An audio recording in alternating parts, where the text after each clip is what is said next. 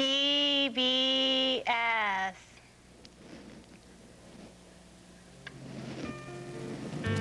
We have super fun when we venture back into Storyland.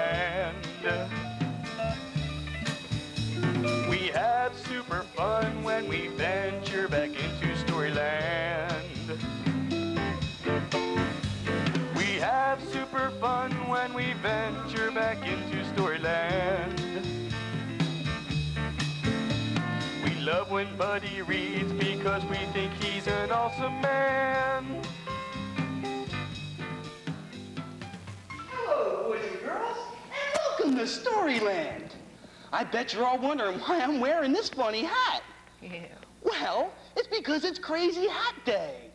Crazy Hat Day originated in Crazy Hat, Georgia, some 25 years ago. Now, I'm wearing my crazy hat, and do you know who else is wearing their crazy hat? Chip! You're exactly right. It's Chip, my faithful sidekick. How you doing, buddy? I'm doing fan-diddly-antastic. All righty. All right. Oh, Pepe, why the sad face?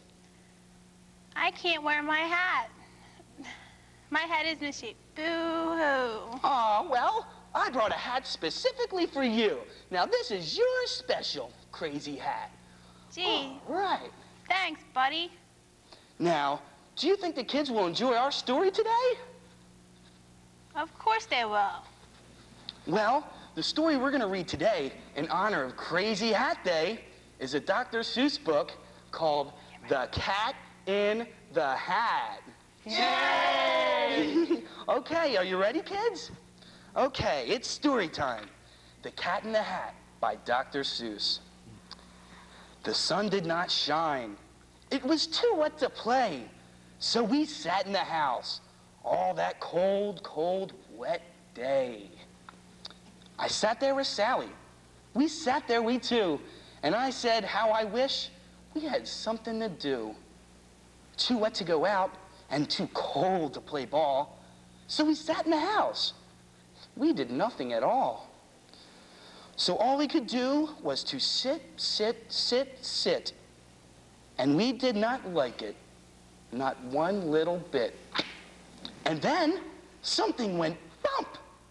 How that bump made us jump. We looked, then we saw him step in on the mat. We looked, and we saw him, the cat in the hat. And he said to us, Why do you sit there like that?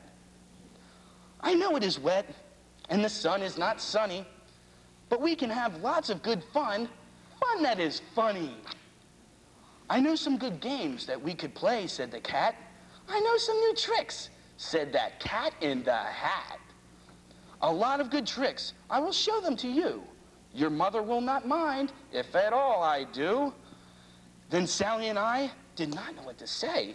Our mother was out of the house all that day. But our fish said, no, no, make that cat go away. Tell that cat in the hat you do not want to play. He should not be here. He should not be about. He should not be here when your mother is out. Now, now, have no fear. Have no fear, said the cat. My tricks are not bad, said the cat in that hat. Why, we can have lots of good fun, if you wish, with a game that I call Up, Up, with a Fish. Put me down, said the fish. This is no fun at all. Put me down, said the fish. I do no not wish to fall. Have no fear, said the cat. I will not let you fall. I will hold you up high as I stand on a ball. With a book in one hand and a cup on my hat. But that's not all I can do, said that cat. Look at me now. Look at me now, said the cat. With a cup and a cake on top of my hat. I can hold up two books. I can hold up the fish. I can hold a little toy ship and some milk on a dish. And look, I can hop up and down on the ball. But that is not all. Oh, no! That is not all. Look at me! Look at me! Look at me now! It is fun to have fun, but you have to know how. I can hold up the cup and the milk and the cake. I can hold up these books and a fish on a rake. I can hold a toy ship and a little toy man. And look, with my tail, I can hold a red fan. I can fan with the fan as I hop on the ball, but that is not all. Whoa, no, that is not all. That is what the cat said. Then he fell on his head. He came down with a bump from up there on the ball, and Sally and I, we saw, we saw all the things fall. And our fish came down too. He fell into a pot. He said, do I like this? No, I do not like this. I do not. This is not a good game, said our fish as he lit. No, I do not like it. Not one bit. And then, who was back in the house? Why, the cat. Have no fear of this mess, said the cat in the hat. I will pick up all my playthings. And so, I will show you another good trick that I know. Then we saw him pick up all the things that were down. He picked up the cake and the rake and the gown and the milk and the strings and the book and the dish and the fan and the cup and the ship and the fish. And he put them away. Then he said, that is that. And then he was gone with the tip of his hat. Then our mother came in and she said to the two of us, did you have fun? Tell me, what did you do? And Sally and I did not know what to say. Should we tell her the things that went on that day? Should we tell her about it? Now, what should we do? Well, what did you do if your mother asks you? Well, kids, did you like that story? Yeah! All right, I thought you would. Well, that's all our time in Storyland today. Join us tomorrow when we'll read from Mother Goose in honor of Mother's Day.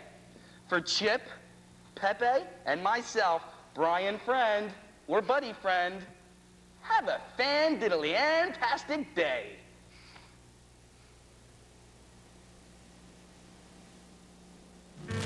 We have super fun when we venture back into Storyland. We have super fun when we venture back into